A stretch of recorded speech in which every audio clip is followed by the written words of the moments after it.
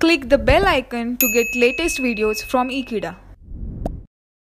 Hello friends, today we are starting with essay 300 that is audit planning.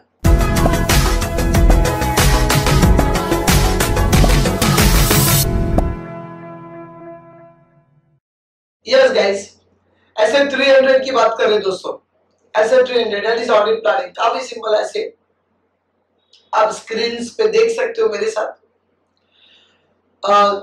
Audit planning का सबसे पहले audit plan होता क्या है?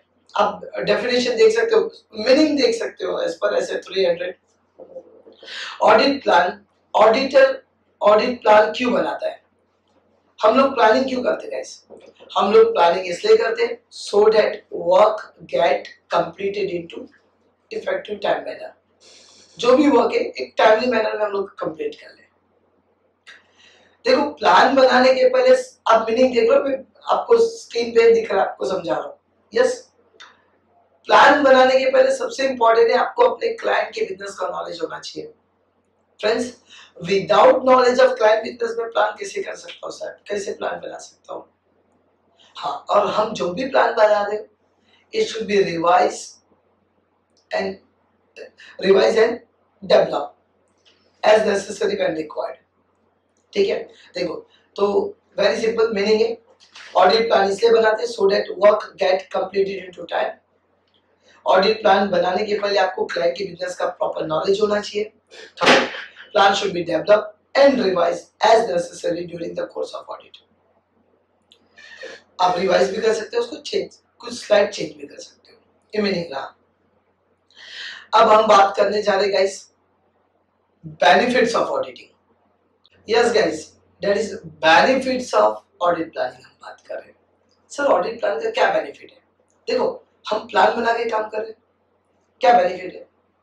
तो इसका ये बेनिफिट है सो डेट आप स्क्रीन पे देख सकते हो स्लाइड वन की मैं बात कर रहा हूँ।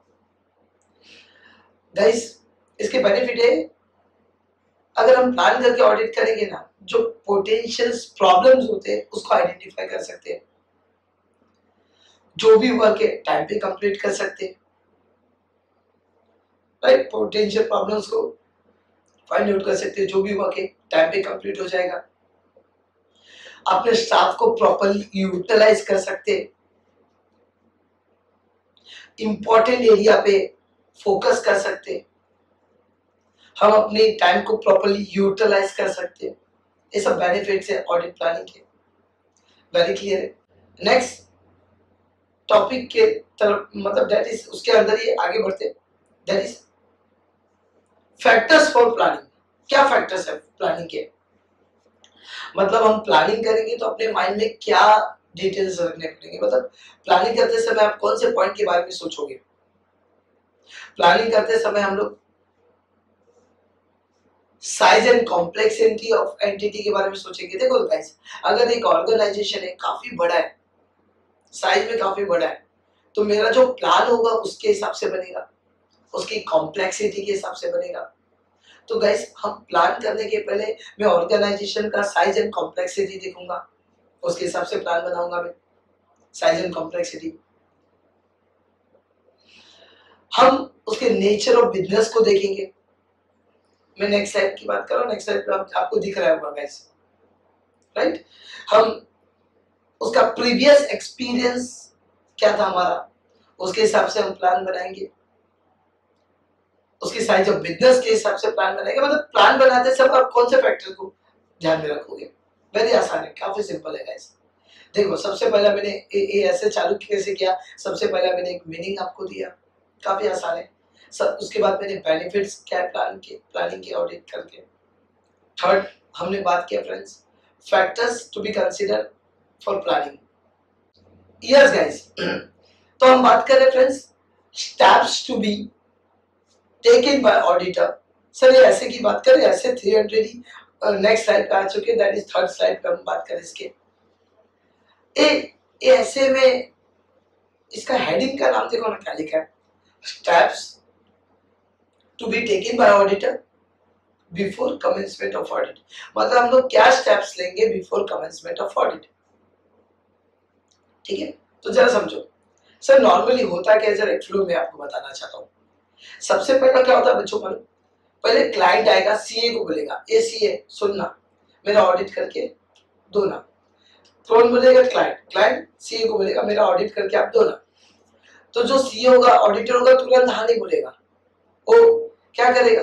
कुछ काम करेगा। जैसे कि मैं आपको बता रहा हूँ, एक क्लाइंट है ना, जब पुराना सीए को छोड़ के नए सीए के पास आता ना तो नए सीए की ज़िम्मेदारी होती है जो कंपनी के पुराने सीए से बात करे।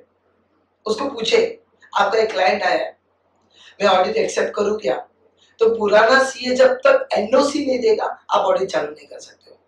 अगर विदाउट आपने कम्युनिकेटिंग आपने ऑडिट चालू कर दिया then it will be treated as professional misconduct तो बहुत ज़रूरी होता फ्रेंड्स सबसे पहला क्लाइंट आएगा, आपको बोलेगा, मेरा ऑडिट करके दे दो तो उसको हम लोग बोलेंगे अपॉइंटमेंट लेटर आप प्रीवियस ऑडिटर से कम्युनिकेट करोगे, उसको बोलेंगे communication with the previous auditor आपको लगा सब कुछ सही है, आप एक्सेप्ट कर लोगे उसके ऑडिट को एक्सेप्टेंस ऑफ़ ऑडिट देखो, सबसे पहले कब आप अपने अपॉइंटमेंट को एक्सेप्ट सॉरी सबसे पहले क्लाइंट ने आपको ऑफ़र किया दैट इज़ अपॉइंटमेंट आपने पुराने ऑडिटर से बात किया that is communication third point आपने एक्सेप्ट कर लिया।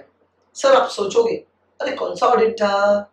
सही बात है ना? आपने ऑडिट एक्सेप्ट कर लिया ना फ्रेंड्स तो आप सोचोगे कि नहीं? आप स्क्रीन पे देख सकते हो पॉइंटर आप सोचोगे, अरे कौन सा ऑडिट था? कौन सा ऑडिट था? यस आप सोचोगे यस उसके बाद आप सोचोगे, अरे, मेरा क्लाइंट की अकाउंटिंग सिस्टम क्या है? उसकी अकाउंटिंग पॉलिसीज़ क्या है? मतलब कौन सा सिस्टम यूज़ करता फॉर द अकाउंटिंग पर्पस आप भी सोचोगे। उसके बाद आप देखोगे कि आपको प्रॉपर एविडेंस जो चाहिए मिल रहा है। उसके बाद आपको जो डॉक्यूमेंट दैट इज़ एविडेंस मतलब जो डॉक्यूमेंट चाहिए था ऑडिट पर्पस के लिए मिला है कि नहीं मिला है? उसके बाद आप जानने की कोशिश करोगे। कंपनी का मैनेजमेंट कौन है? अकाउंटेंट कौन है? सर, क्योंकि आप ऑडिट करने जाओगे तो मालूम तो होना चाहिए ना मैनेजमेंट कौन है ऑडिट अकाउंटेंट कौन है, क्योंकि उससे कम्युनिकेशन करना आपको इंफॉर्मेशन चाहिए।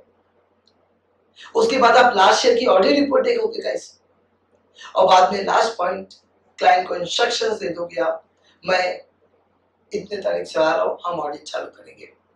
मतलब इसको बोलते हैं steps to be taken by auditor before commencement of audit हम क्या स्टेप्स लेंगे बिफोर कमेंसमेंट ऑफ़ ऑडिट क्या स्टेप्स लेंगे?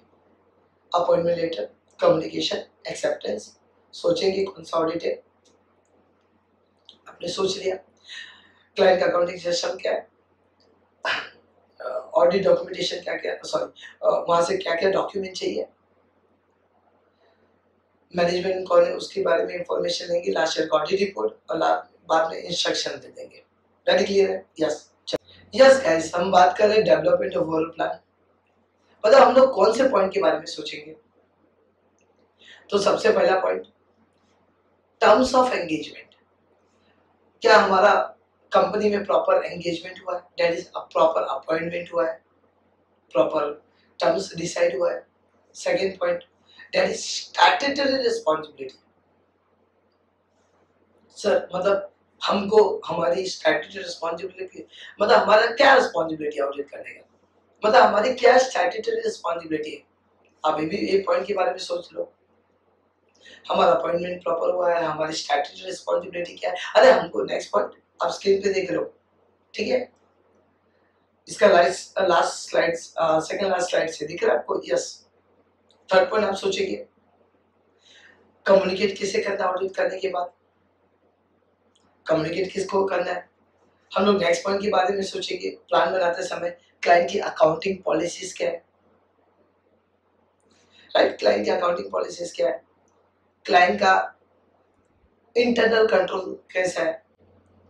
क्लाइंट से हमको एविडेंस मिल रहा है क्या? नेक्स्ट स्लाइड पे आप देख रहे हो। Last slide that is client से प्रॉपर एविडेंस मिला क्या हमको। यस yes, उसके बाद सोचेंगे क्या हमको वी आर ऑडिटर्स क्या हमको एक्सपर्ट की ज़रूरत पड़ेगी? क्या हमको जॉइंट ऑडिटर की ज़रूरत पड़ेगी? क्या हमको इंटरनल ऑडिटर की ज़रूरत पड़ेगी? हमको स्टाफ रिक्वायरमेंट कितना है? तो मतलब मैं ऑडिट प्लान कर रहा हूँ तो हम इस सब पॉइंट के बारे में सोचेंगे गाइस ये सब पॉइंट के बारे में सोचेंगे। मैंने देखो, ये ऐसे चालू किया तो सबसे पहले हमने मीनिंग की बात की बेनिफिट की बात की फैक्टर्स की बात की steps to be taken by auditor before commencement of audit और लास्ट टॉपिक दैट इज़ इसके अंदर था, वो डेवलपमेंट ऑफ़ ओवरऑल प्लान ये सब बात की। तो यहाँ पे ऐसे कंप्लीट हो गया। Thank you so much friends for watching this video please subscribe our channel that is जी कीना थैंक यू सो मच